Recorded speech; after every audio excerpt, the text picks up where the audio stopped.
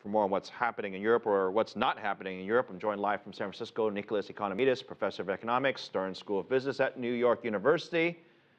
And he's a visiting professor at UC Berkeley, which is why he is there. Good to see you again, sir. Welcome back to the, to the big show.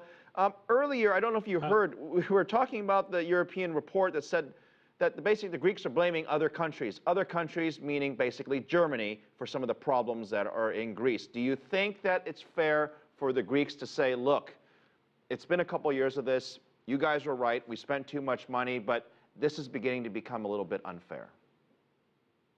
Well, I think that we are at a point in which uh, the Greek uh, uh, budget has um, been balanced, and in fact, there is um, there is a surplus. So a primary surplus if you exclude uh, uh, interest. So Greece is in pretty good shape financially at this point. In fact, it doesn't need any money right now from the European Union. And this negotiation that is happening right now is unique because it's the first time in years that Greece doesn't need the money right away.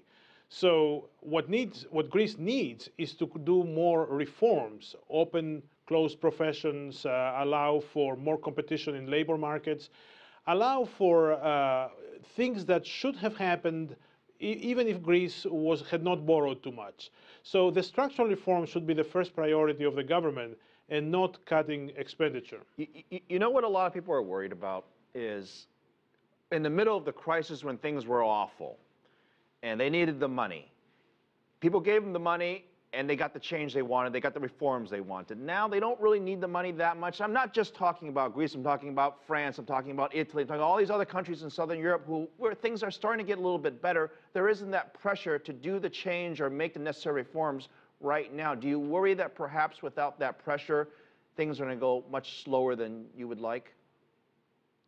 Well, that is something I do worry, uh, that, there is not sufficient resolve in Greece, especially outside the government coalition. Uh, there is not enough resolve to actually uh, do the structural reforms. Uh, at the same time, I think the European Union should put as its priority to push the Greek government to do the structural reforms rather than asking the Greek government to cut more uh, of its budget. I mean, this doesn't make sense. If the right thing to do is the reforms, then the rest of Europe should also push for the reforms and not for something that doesn't really make so much sense anymore. The Swiss are calling for the banks, uh, particularly in their country, to have more a larger capital base. We see the economy getting a little bit better. What's next for Europe? What happened to the, the fiscal consolidation? What happened to this regulatory environment that there's going to be this one set of rules that all the countries have to abide by to avoid another disaster? Well, that's a great question. And I think that uh, this question should be uh, addressed by the top uh, leaders of the European Union, especially by France and Germany.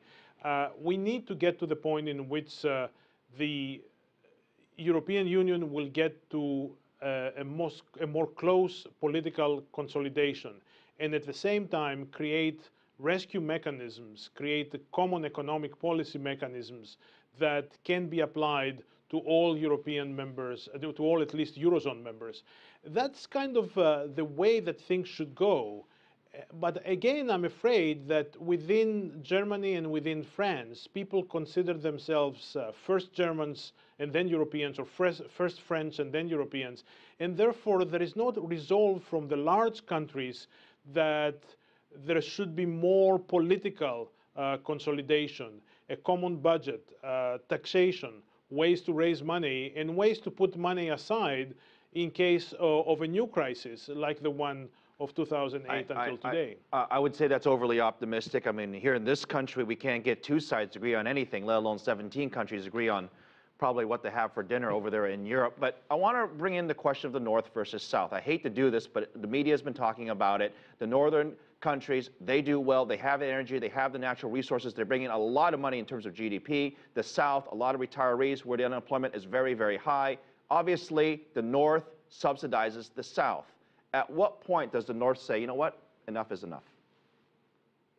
Well, in fact, the North is not subsidizing the South in Greece, I mean, in, in, in, Europe, and that's kind of the biggest problem. While if you take the United States, uh, uh, wealthy uh, parts of the United States, like New York and California, do subsidize the, the, the poor ones like uh, Louisiana or Arkansas.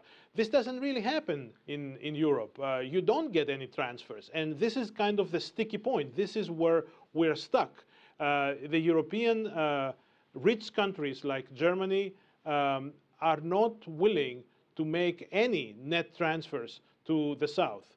And that's where we're stuck. Uh, if that problem gets resolved, uh, then that's a huge leap forward for Europe. Nicholas Economides, uh, always good to have you on the show, coming to us live Thank from you, the Phil. great city of San Francisco. We will see you.